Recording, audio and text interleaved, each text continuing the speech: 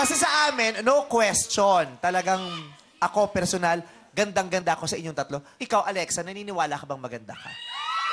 Oo naman. Hindi sa pagyayabang, alam ko lang yung self-worth ko kasi. Oh, usapang self-worth. Tama yan. Ka- bata ka pa lang dapat alam mo na ang self-worth mo. Ikaw, Elise. Ako po, siguro, pag nasasabihan, syempre, ah, doon tumatas yung confidence. Pero sa sarili ko po talaga, Ate Vice, ano ako eh, hindi ganun kaano yung confidence level. Talaga. Opo. Siguro nung nakita mo yung mukha ko, bumagsak ang confidence. Hindi naman kita masisisi. eh. Maraming tao rin naman question talaga yung self-worth nila. ganda. ang ganda. Talaga? Diyos ko, kuya, naramdaman mo. Ano pang mararamdaman ko? Pero hindi. Let me just tell you, you are so beautiful. Thank you po, Ate Vice. And you are worthy of praises. Ikaw, Loisa. May time.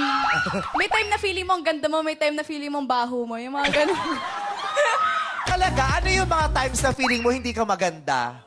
Siguro pag nasa bahay lang ako. Dahil? Naliligo. Oh, hindi ako naliligo, mga ganyan. Totoo? Oh, pag walang ganap, walang ligo. Ganun. Aminin nyo naman, lahat naman tayo, ganun. Kayo hindi rin kayo naliligo?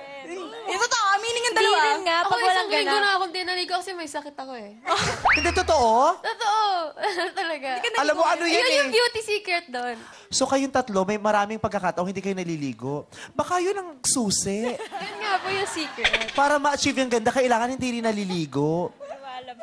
So mabaho kayo. Dry shampoo na lang. Dry shampoo. Spray mo parang di oily, tapos di mabaho. yung ngayon, parang Alam niyo na yung mga beauty secret kayo. Nakakatawa yung mga babaeng ganda pero sa laula. Ano? Gandang gabi ka, pamilya! Yes! Magandang, magandang, magandang gabi at magandang, maganda tayong lahat.